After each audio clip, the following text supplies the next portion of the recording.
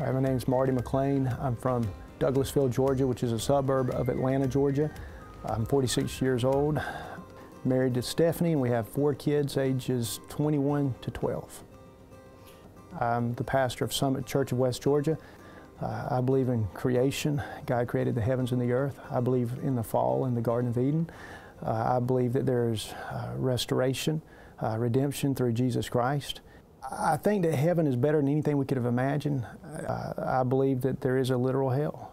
And the Bible does refer to the, in the book of Revelation, the lake of fire.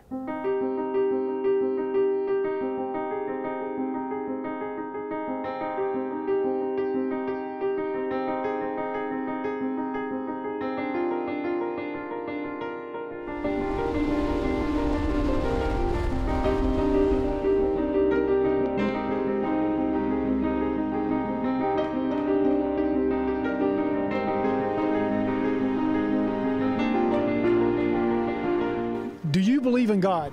No, Why not? I never seen him. If there's no God, why should I believe in him? Okay.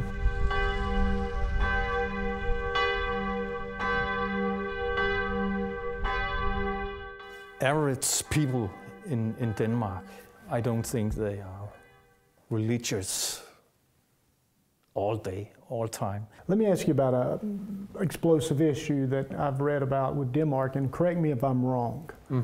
Uh, a couple of years ago, it seems like there's an issue with having same-sex marriage ceremonies in the church, and did the parliament make the church start doing that in the church?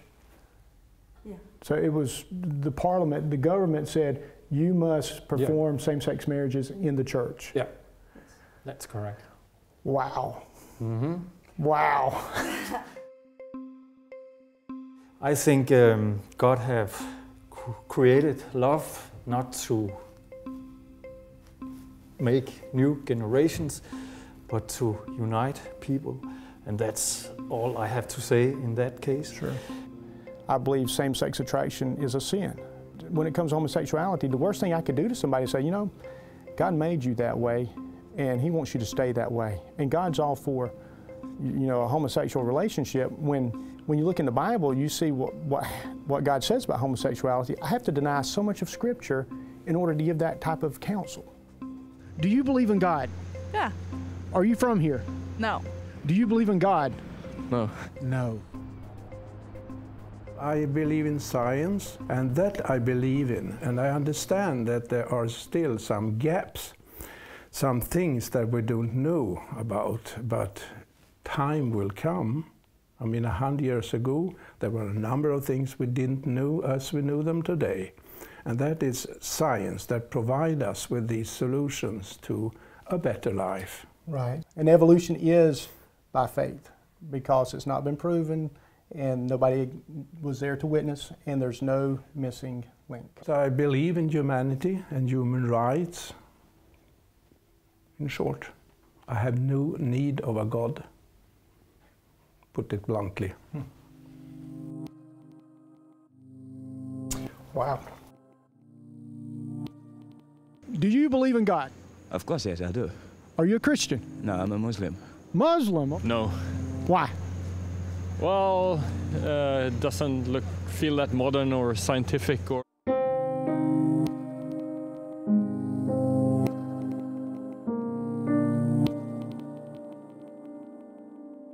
Uh, my religious community is quite new, newly formed in Sweden and authorized by the Swedish state.